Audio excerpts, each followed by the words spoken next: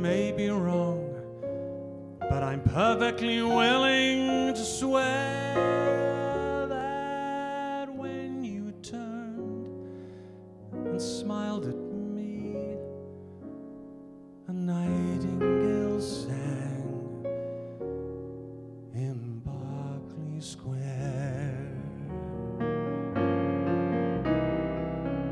The moon that lingered over London town,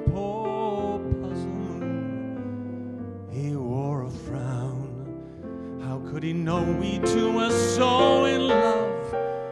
The whole darn world seemed upside down. The street